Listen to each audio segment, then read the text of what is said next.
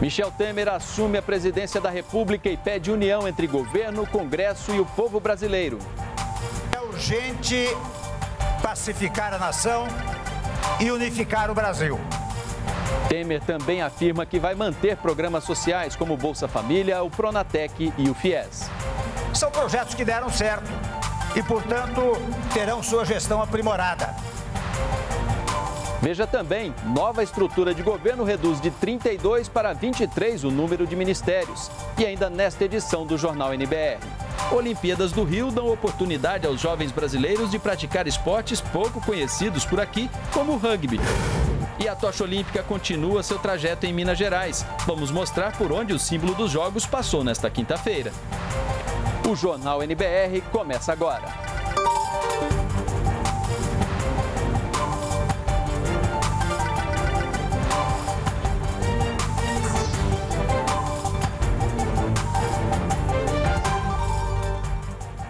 Olá, boa noite. Michel Temer tomou posse hoje e, em seu primeiro discurso, ele falou sobre as perspectivas para o país e pediu união entre o governo, o Congresso e o povo brasileiro.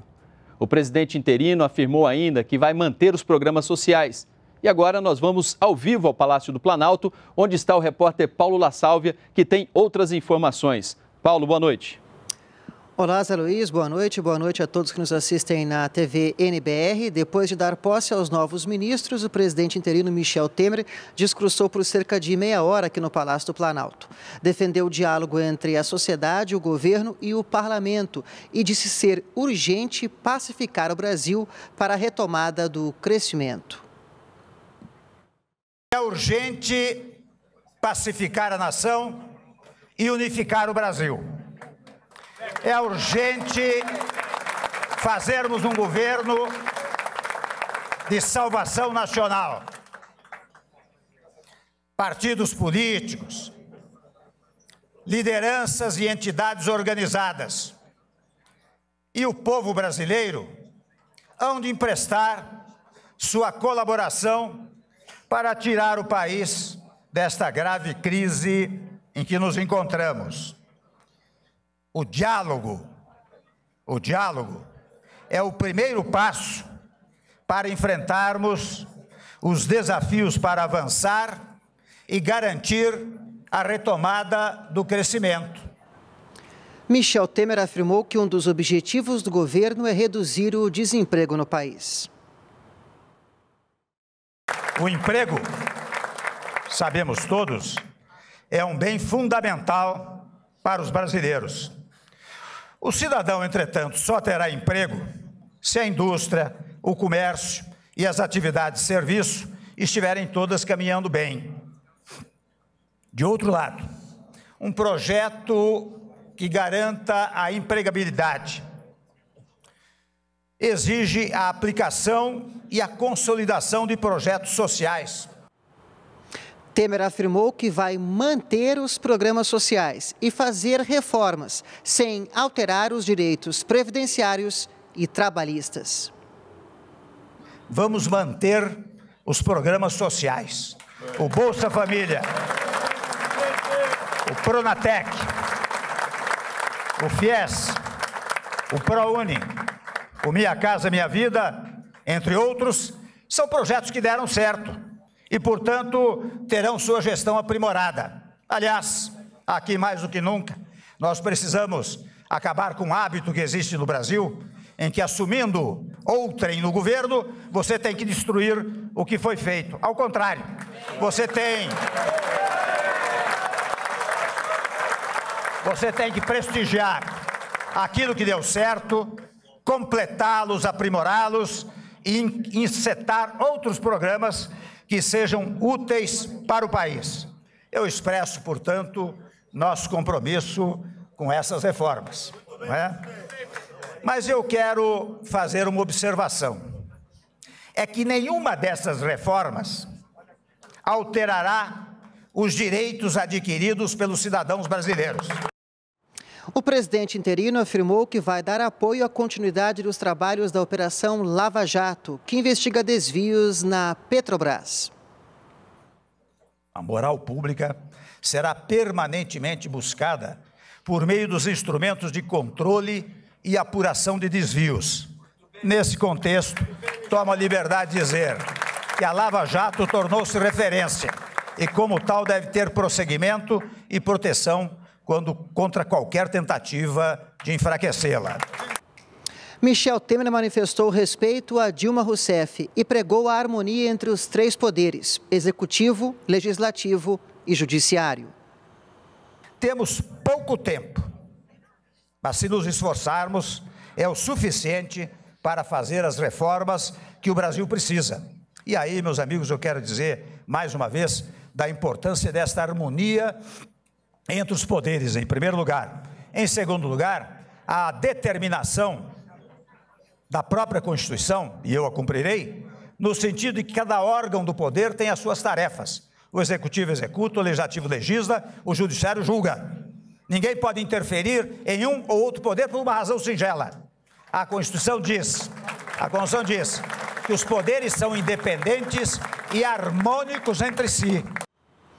O presidente interino Michel Temer defendeu ainda que a economia vai ter uma outra prioridade, que é a redução de gastos, como, por exemplo, os ministérios que foram cortados nesta quinta-feira e também os cargos comissionados, aqueles que são ocupados dentro do governo sem o intermédio de concursos públicos. Voltamos com você no estúdio, Zé Luiz. Obrigado, Paulo, que trouxe ao vivo as informações do Palácio do Planalto. E Michel Temer está na vida pública há mais de 50 anos. Ao assumir o cargo nesta quinta-feira, se tornou o primeiro paulista na presidência da República em 110 anos.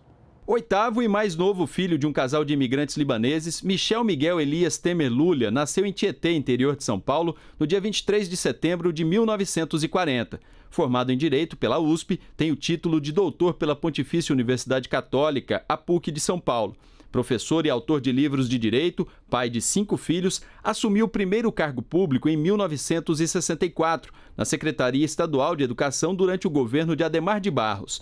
Em 1983, já afiliado ao PMDB, se tornou procurador-geral do Estado, a convite do então governador Franco Montoro. No ano seguinte, assumiu a Secretaria de Segurança Pública de São Paulo e, durante a gestão, criou a primeira delegacia da mulher do país. Em 1992, voltou a ocupar o cargo. Eleito suplente de deputado federal em 1986, assumiu o mandato no ano seguinte e participou da Assembleia Nacional Constituinte. Foi reeleito por seis mandatos, sempre pelo PMDB, partido do qual foi presidente nacional entre 2001 e abril deste ano. Michel Temer presidiu a Câmara dos Deputados em 1997, 99 e 2009. Em 2010, elegeu-se vice-presidente da República na chapa da presidenta Dilma Rousseff. Repetiu a parceria em 2014. Esteve à frente da articulação política do governo e agora, com o afastamento da presidenta pelo Senado, assume o governo interinamente. A decisão dos senadores pela abertura do processo de impeachment e o afastamento de Dilma Rousseff da presidência da República saiu no início da manhã. Em seguida, as notificações foram entregues para Dilma e Michel Temer. Dilma Rousseff recebeu o mandado de intimação para seu afastamento temporário por volta das 11 horas. Logo depois, fez um comunicado oficial para a imprensa ao lado de ex-ministros e parlamentares aliados. Depois do comunicado, Dilma falou com manifestantes que a esperavam na frente do Palácio do Planalto. Depois, seguiu para o Palácio da Alvorada. Dilma Rousseff ficará afastada por até 180 dias enquanto o processo é julgado no Senado Federal. Caso seja absolvida, reassume o cargo de imediato. Para a condenação, são necessários os votos de dois terços dos senadores, ou seja, 54 dos 81. Neste caso, é destituída automaticamente do cargo. Michel Temer recebeu a notificação da decisão ao Senado no Palácio do Jaburu por volta do meio-dia e assinou o documento como presidente. O secretário-geral das Nações Unidas, Ban Ki-moon, divulgou hoje uma declaração em que afirma que está acompanhando de perto os acontecimentos no Brasil. Ban Ki-moon diz confiar que as autoridades do país vão honrar os processos democráticos do Brasil, aderindo a, ao Estado de Direito e à Constituição. Ele também pediu calma e diálogo entre todos os setores da sociedade e que é grato pelas oportunidades e importantes contribuições do Brasil para o trabalho das Nações Unidas. E hoje os novos ministros tomaram posse. O novo governo reduziu o número de ministérios de 32 para 23. Para isso, unificou pastas, extinguiu um e outros perderam o status de ministério. Confira os ministérios que foram mantidos e quem está à frente deles. O Ministério da Fazenda agora vai assumir também as ações da Previdência Social. O ministro é o ex-presidente do Banco Central, Henrique Meirelles. Natural de Anápolis, Goiás, o executivo começou a carreira no Banco Boston e chegou à presidência mundial da instituição. Ficou no comando do Banco Central de 2003 a 2011. Já o Ministério do Planejamento tem à frente Romero Jucá, que é senador por Roraima desde 1995. Foi governador do estado entre 1988 e 1990. Jucá foi ministro da Previdência Social em 2005, durante o governo do ex-presidente Lula. Quem assume a Casa Civil é Eliseu Padilha, natural da cidade de Canela, Rio Grande do Sul. Padilha é formado em Direito e foi eleito três vezes deputado federal. Ele também foi ministro dos Transportes de Fernando Henrique Cardoso e ministro da Secretaria de Aviação Civil de Dilma Rousseff. Gedel Vieira Lima é o novo ministro da Secretaria de Governo. Ele já foi vice-presidente da Caixa Econômica e deputado federal eleito cinco vezes consecutivas. Foi ministro da Integração Nacional do governo de Luiz Inácio Lula da Silva. O novo ministro da Saúde é Ricardo Barros. Ele iniciou sua carreira política como prefeito da cidade de Maringá em 1988. Deputado federal pelo estado do Paraná desde 1995, com cinco mandatos consecutivos, foi líder dos governos FHC e Lula no Congresso Nacional. Blairo Maggi assume o Ministério da Agricultura, Pecuária e Abastecimento. Senador pelo estado de Mato Grosso, Maggi é agrônomo e empresário. Foi governador do estado de Mato Grosso em três ocasiões. O novo ministro do Meio Ambiente é Sarney Filho. Natural de São Luís, no Maranhão, é atualmente deputado federal pelo Estado. Sarney Filho já foi ministro do Meio Ambiente no governo Fernando Henrique Cardoso. Já no Ministério das Cidades, assume Bruno Araújo, deputado federal que está no terceiro mandato. Araújo é advogado pela Faculdade de Direito do Recife. Assume o Ministério da Defesa o consultor empresarial e político Raul Jungmann. Atualmente, ele exerce o mandato de deputado federal por Pernambuco. Henrique Eduardo Alves volta a comandar o Ministério do Turismo. Ele foi o titular da pasta no governo Dilma, de abril de 2015 a março de 2016. O novo ministro do Trabalho é Ronaldo Nogueira, deputado federal pelo Rio Grande do Sul. É formado em administração de empresas e especialista em gestão pública. Nogueira é pastor da Assembleia de Deus. O novo ministro do Esporte é Leonardo Pisciani, que está no quarto mandato de deputado federal pelo Rio de Janeiro. Nasceu em Nilópolis, Rio de Janeiro, e é formado em Direito. A Controladoria Geral da União, CGU, dá lugar ao Ministério da Fiscalização, Transparência e Controle. Quem vai comandar a pasta é o advogado Fabiano Augusto Martins Silveira, membro do Conselho Nacional de Justiça. Fabiano é doutor em Ciências Penais e consultor legislativo do Senado Federal. Marcos Pereira assume o Ministério do Desenvolvimento, Indústria, Comércio e Serviços. Nascido em Linhares, no interior do Espírito Santo, é advogado e professor de Direito. Atualmente é presidente nacional do Partido Republicano Brasileiro, o PRB. O novo ministro-chefe do Gabinete de Segurança Institucional é o general gaúcho Sérgio Westphalen, de Cruz Alta, Rio Grande do Sul. Ele entrou no Exército em 1971. Desde dezembro de 2012, ocupava o cargo de chefe do Departamento Geral do Pessoal do Exército.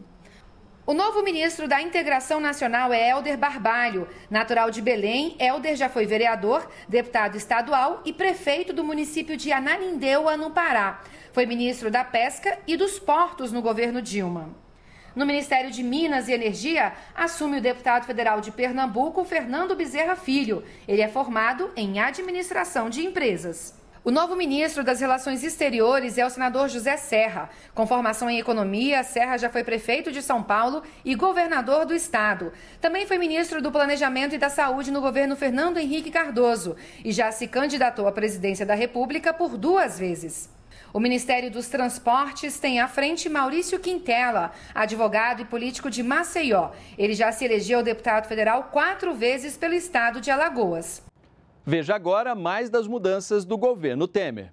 Confira também as mudanças feitas em alguns ministérios que foram unificados. O Ministério da Cultura passa a fazer parte do Ministério da Educação.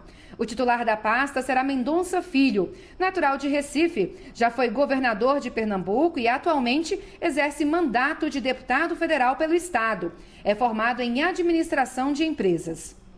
O Ministério do Desenvolvimento Social e Combate à Fome e o Ministério do Desenvolvimento Agrário viraram uma só pasta, o Ministério do Desenvolvimento Social e Agrário. O titular da pasta é Osmar Terra, médico de Porto Alegre. Terra foi deputado federal cinco vezes pelo Rio Grande do Sul e prefeito do município de Santa Rosa. Outra junção. Ciência e Tecnologia e Comunicações passaram a ser um único ministério, Ministério de Ciência, Tecnologia, Inovações e Comunicações, comandado por Gilberto Kassab. Engenheiro e economista por formação, o novo ministro já exerceu cargos no Legislativo e foi prefeito de São Paulo. Também foi ministro das Cidades no governo Dilma. O Ministério da Justiça passa a ser o Ministério da Justiça e Cidadania e incorpora a antiga Secretaria de Políticas para as Mulheres, Igualdade Racial e Direitos Humanos. O ministro é Alexandre de Moraes, atual secretário de Segurança Pública do Estado de São Paulo. Moraes é doutor em Direito do Estado, foi professor universitário e promotor de justiça, além de ter exercido outros cargos na administração pública. Perderam o status de ministério a Secretaria de Comunicação Social da Presidência, o Banco Central e a Advocacia Geral da União. E durante a cerimônia de posse, alguns ministros falaram sobre a expectativa em relação ao novo governo. O ministro do Desenvolvimento Social e Agrário, Osmar Terra, confirmou que o novo governo vai manter o reajuste de 9% do Bolsa Família e também ressaltou a necessidade de criar novos programas de geração de renda. Abrir a porta de saída do programa, incrementando programas de desenvolvimento local, de geração de emprego e renda, de empreendedorismo, né? agilizando, trazendo Sebrae, microcrédito, trazendo é, é, propostas é, de, de, de renda independente do Bolsa Família. O ex-governador Moreira Franco vai assumir o cargo na presidência responsável pelas concessões à iniciativa privada. O novo ministro explica como será a medida provisória que vai regular as parcerias de investimento. Vamos desobstruir todos os empecilhos na regulamentação, é, na falta de segurança jurídica, na definição clara do papel dos estruturadores, da, dos que terão a responsabilidade de financiar no sistema financeiro e daqueles que irão concorrer. Citando o cenário econômico, o ministro da Casa Civil, Eliseu Padilha, afirmou que o momento é de cortar gastos. Nós temos um problema que estamos gastando mais do que recebemos. Na minha casa, quando eu gasto mais do que recebo, eu corto alguma coisa. Não vou no cinema, não vou no teatro, não vou comprar terno novo, não compro Pronto. Mas no governo não é diferente. O novo ministro das Cidades, Bruno Araújo, reitera o discurso de austeridade. Cada ministro de Estado fazendo o seu papel, de organizando sua estrutura, é, procurando fazer a maior economia possível em todo o sistema da máquina, com uma contribuição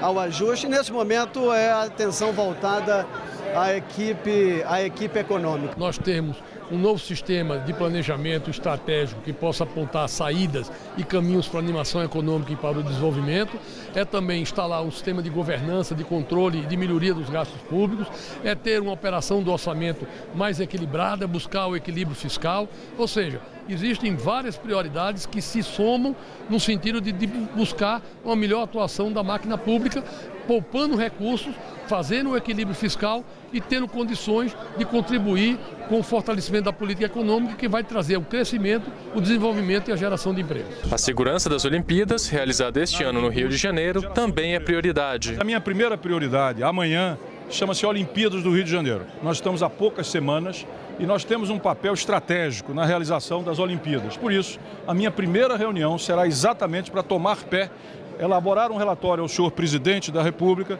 e, a partir daí, tomar todas as medidas necessárias para esse evento que vai mostrar o Brasil ao mundo, mas também o Brasil a ele próprio, possa transcorrer na maior paz e na maior tranquilidade, como é, aliás, o desejo de todos. E agora à noite, o presidente interino Michel Temer participou da posse do presidente do Tribunal Superior Eleitoral, Gilmar Mendes. E o presidente do Supremo Tribunal Federal, Ricardo Lewandowski, assumiu hoje a presidência do processo de impedimento de Dilma Rousseff. Ele vai decidir dúvidas que surjam durante o processo. Lewandowski também assinou o termo de citação. A partir do recebimento do documento, Dilma vai ter 20 dias corridos para apresentar a defesa dela. A primeira fase do processo é conduzida pela mesma comissão que analisou o pedido de impedimento no Senado. Na terça-feira da semana que vem, quem vem, é, que vem, integrantes e assessores da comissão se reúnem com o presidente do STF e técnicos do tribunal para analisar os próximos passos do processo. As Olimpíadas do Rio dão oportunidade aos jovens brasileiros de praticar esportes pouco conhecidos no Brasil. O programa Transforma, do comitê organizador dos Jogos Rio 2016, ampliou as modalidades esportivas praticadas nas escolas.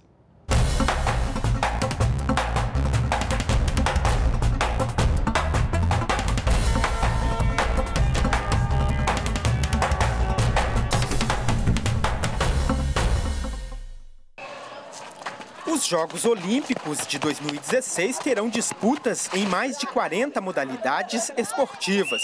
Boa parte delas é pouco conhecida no Brasil, como é o caso do rugby. Mas nesta escola municipal da Zona Oeste do Rio de Janeiro, o esporte já passou a fazer parte do dia a dia dos alunos. Aqui, os estudantes treinam três vezes por semana no contraturno escolar. Nós fomos convidados a participar de uma oficina e eu peguei esse projeto, fiz esse projeto, abracei, né, trouxe para a escola sem conhecer muito, os alunos também né, não tinham visto e eles gostaram.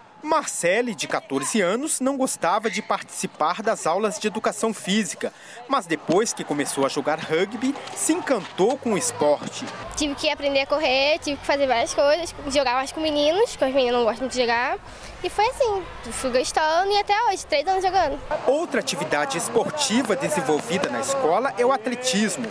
E os alunos contam com o apoio e incentivo do ex-atleta olímpico Edgar de Oliveira, que passa a eles a experiência de ter participado de duas Olimpíadas. Os olhinhos deles, como brilham quando vê que né, eu participei de duas Olimpíadas e que estou ensinando, passando isso para eles, é algo assim fantástico. Né? Esse é um dos objetivos né, principais do, do, do, projeto, que é justamente contra o turno escolar. Então, de vez deles ficarem na rua, vem para dentro da escola e aqui dentro eles passam duas, três horas com professores né, e aprendendo o que? Os valores olímpicos, né, a questão da cidadania e trazer isso também para dentro das famílias. Um dos destaques entre os alunos é Vitor Hugo, de 14 anos, que já tem 1,77m de altura. Ele quer aproveitar essa vantagem e seguir carreira no esporte. Se é oportunidade, acho que eu vou ser velocista. Vou correr bastante. As atividades esportivas chegaram até a Escola Guimarães Rosa por meio do Transforma, programa de educação do Comitê Organizador dos Jogos Olímpicos e Paralímpicos Rio 2016. O programa, basicamente, ele capacita os professores de educação física e das outras disciplinas. A gente oferece material didático para que eles, capacitados, possam é, desenvolver atividades ligadas tanto à parte dos valores olímpicos e paralímpicos, como também de novos esportes nas escolas. O programa Transforma não está restrito às escolas aqui do Rio de Janeiro. O curso de formação de professores para ensinar esportes olímpicos está disponível na plataforma de ensino à distância do Ministério da Educação e pode ser acessado por educadores de todo o país. O MEC entra com toda a parte de estrutura e a plataforma de educação à distância e o, o Comitê Rio 2006 entra com conteúdo, com a moderação dos cursos, a certificação dos professores. Todo professor é convidado convidado a entrar no site do Rio 2016, rio2016.com.br educação, e aí se inscreve no curso. Depois que ele faz o curso, ele ganha um certificado do Comitê Rio 2016, dizendo que ele está habilitado a desenvolver as ações na sua escola. A tocha olímpica continua seu trajeto em Minas Gerais. Hoje ela foi recebida pela população de NAC, Coronel Fabriciano e Itabira. E amanhã o símbolo dos Jogos Rio 2016 vai passar pelas cidades mineiras de Ouro Preto e Itabirito. O Jornal NBR fica por aqui. Outros detalhes sobre os serviços e as informações do governo federal se encontra no Portal Brasil. Para você, uma boa noite e até amanhã. Continue com a gente aqui na NBR, a TV do governo federal.